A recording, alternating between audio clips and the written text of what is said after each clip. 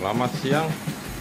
Kali ini saya mau ngetes pompa ya, yaitu dengan solar panel. Solar panel kecil ya, hanya kapasitas 20 WP. Merek Shinyoku. Nah ini speknya ada di baliknya. Shinyoku 20 WP 1, 16 ampere 17,2 volt. Ini kabel plus minusnya.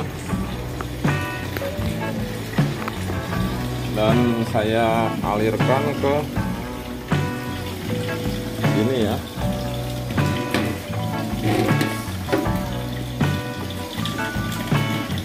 Nah ini outputnya output kabel plus minusnya.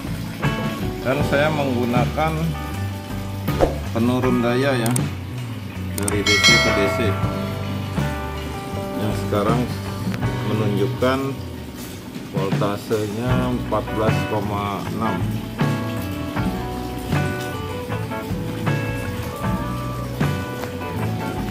14,5 14,6 lah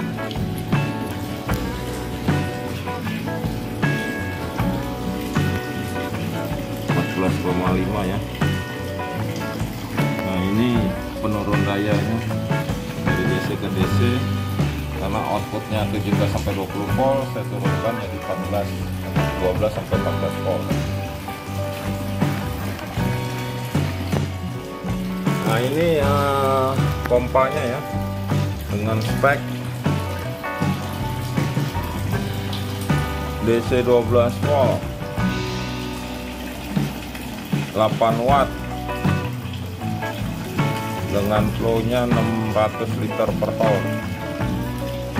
Saya kasih selang supaya mudah.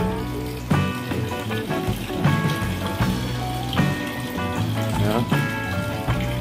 Oke okay, guys saya akan coba dengan mengkonek kabel plusnya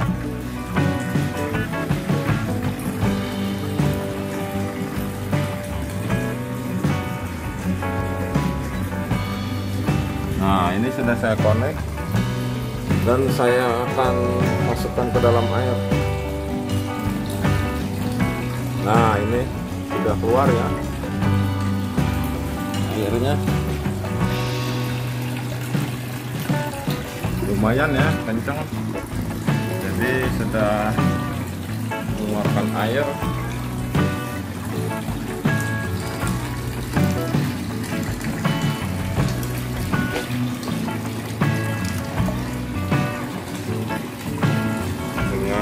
pompa 8 watt. Dan solar panelnya hanya 20 WP nah ini solar panelnya. Saya taruh pinggir supaya kena sinar matahari. Kabel output dari solar panel.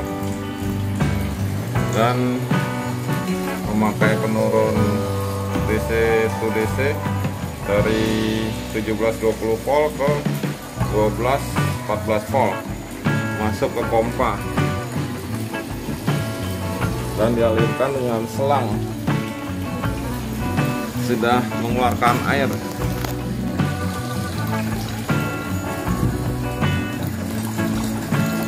Ya, lumayan kencang ya